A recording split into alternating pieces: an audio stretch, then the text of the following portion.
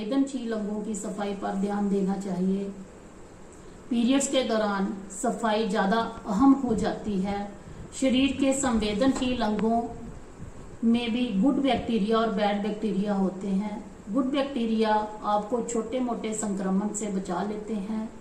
संवेदनशील अंगों में बैड बैक्टीरिया नष्ट करने की भी क्षमता होती है। ऐसे में साबुन की जगह केवल गुनगुने पानी से सफ़ाई भी काफ़ी होती है। पीरियड के समय संतुलित और पौष्टिक आहार ही लें। पीरियड के समय महिलाओं के बीच स्नान न करने की गलत धारणा है। पीरियड्स के दिनों में गर्म पानी से स्नान करना चाहिए।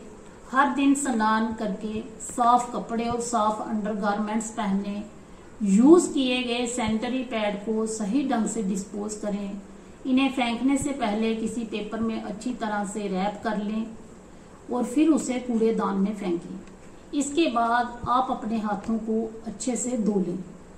पीरियड्स के दिनों में लड़कियों को अपने बैग में हमेशा extra sanitary napkin, tissue paper, hand sanitiser, antiseptic medicine रखनी चाहिए।